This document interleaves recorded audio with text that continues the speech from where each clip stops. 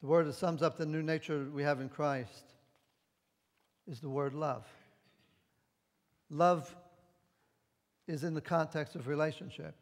And Jesus said, A new command I give to you love one another. As I have loved you, so you must love one another. By this, all men will know that you're my disciples if you love one another. What's the greatest commandment? Love the Lord your God with all your heart, soul, mind, and strength. And what's the second great commandment? Love your neighbor as yourself. Well, Jesus is saying, now I'm going to give you a new commandment. I'm going to put it right up there with love the Lord your God, love your neighbor. I want you to love one another as I have loved you. It gets harder. I mean, you know, love God with all your heart, love your neighbor as you love yourself. Uh, it's just getting tough. Now Jesus says, I want you to love one another as I have loved you. Jesus said on one occasion, all of the law and the, and the commandments uh, and the prophets hang on these two things. That is, love God, love your neighbor. It's all about love. All of the commandments, everything in the Old Testament, everything in the prophets, is all about love. Loving God, loving your neighbor, which I understand to be those outside, loving God's people as Christ has loved us. Jesus, Jesus says it's all about love. Now, what Jesus said is loving one another is at the heart of what would mark his disciples. In fact, he said his plan to change the world revolved around establishing a community of spirit transformed people who would walk together in authentic love. You say, well, Jesus, don't you have any kind of backup plan in case that doesn't work?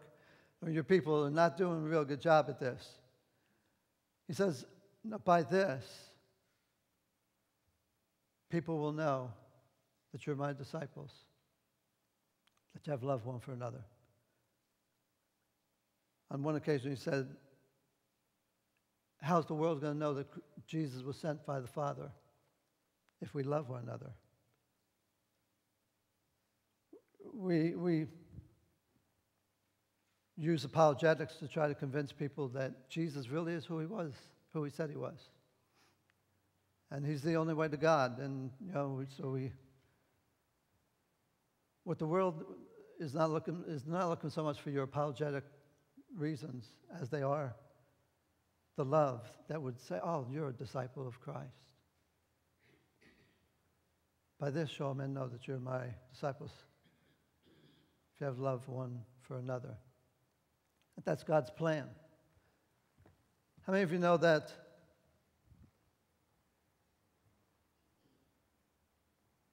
if you don't have a group of people to introduce someone to, then all of the evangelistic programs that we have are not going to produce much. Jesus said, Well, here's my, my evangelistic methodology. I'm going to have a group of spirit transformed people who live together in authentic love and community. And as you introduce people to, the, to this group of people, they're going to find themselves drawn to Christ. If you don't have that, then you've got to have a lot of different programs and gimmicks and a lot of stuff to sort of make up for that. Now, Paul said in Galatians chapter 5, verse 6, very important verse, kind of sums it up this way. The only thing that counts, so the only thing that really matters, is faith expressing itself through love. The only thing that matters is faith expressing itself in great boast of God's going to do this. We're just claiming that. I thought that was what faith was. Faith, how do you know if a person has faith? It, it's, it expresses itself in love. We live in a society that has reduced faith to a commodity, which I use to somehow benefit myself. If you just buy for th- three low pa- payments of $29.95, you can get my sermon series on how to get everything you've ever wanted from God. We've reduced faith to that. To American Christians, it does not seem contradictory for someone to get up and claim to have great faith and their relationships are in a total shambles and nobody likes this person, nobody wants to be around them. But they get up and, and they, they have great faith, bless God. But their faith does not make them love others anymore. In fact, they usually don't want to have anything to do with people. They just want to get up on the platform and do their faith thing. If your faith does not cause you to love, to create a greater love for others, then Paul questions whether that's faith. He said in 1 Corinthians chapter 13, if you have faith that moves mountains, then sign them up. Bless God. This guy's got faith, he can move mountains. Cast them into the sea. Said, if you have faith to do that kind of stuff, and you, but you don't love, then you are nothing. He doesn't, he doesn't even say you have nothing. He says, You are nothing. He says, If your love, if your faith does not produce a greater love, there's something seriously wrong. Scriptures constantly link faith and love. Let's look at some verses. Colossians chapter 1, verse 3 and 4. We always thank God, the Father of our Lord Jesus Christ, when we pray for you because we have heard of your faith in Christ Jesus and of the love you have for all the saints. Second Thessalonians chapter 1 verse 3 and 4. We thank God for you because your faith is growing more and more. How do I know? Because you, the love that each of you has for that every one of you has for each other is increasing. I know your, your faith is growing because your love is increasing. 1 Timothy chapter 1 verse 5 and this was one of the, the verses God gave me when we first started this church 20 years ago as a grid, which I, I use every time I prepare a message. I ask myself, the goal of my instruction is, is, my instruction producing love from a pure heart, a good conscience, and a sincere faith. As long as I can do that, then I don't, I don't feel the need to have to preach all the latest and greatest kind of stuff that people want to hear my goal is does it, is it producing love from a pure heart? Is it producing a clear conscience, which is what the grace of God is all about? An evil conscience is one that condemns us because we don't understand the grace of God and what is accomplished for us, and a sincere faith.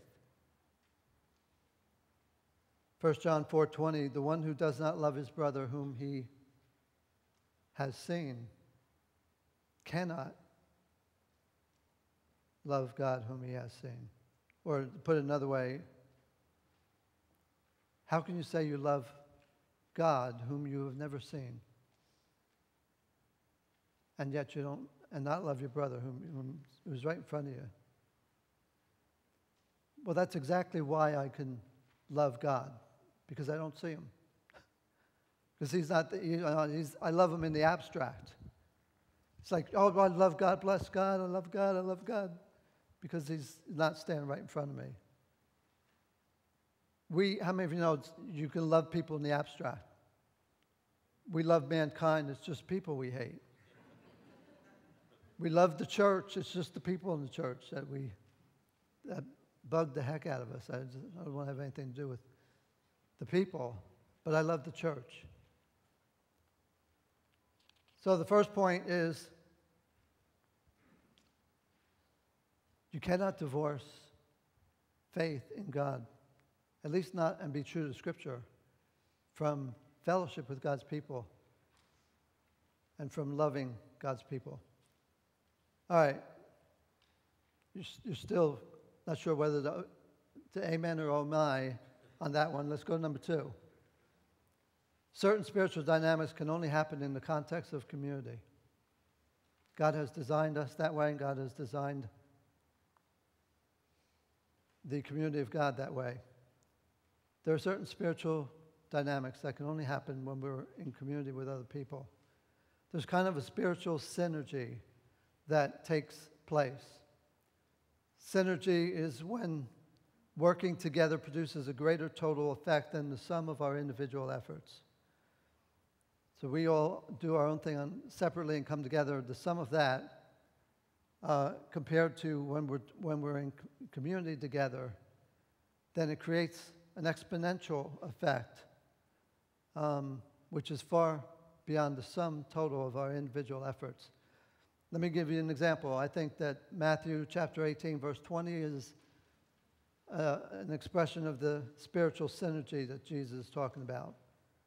He says, For where two or three have gathered together in my name, there I am in their midst.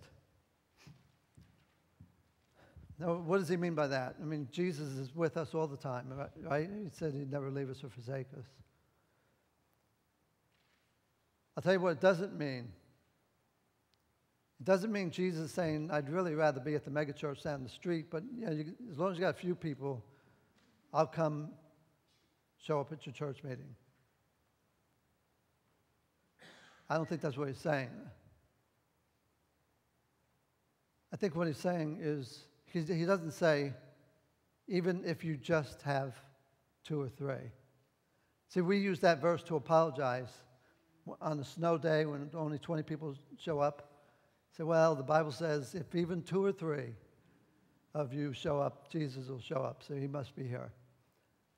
He doesn't say if only two or three. He says where two or three and I think his point is I will, where you gather together in community, even if it's two or three, you gather together in community, I will be in your midst.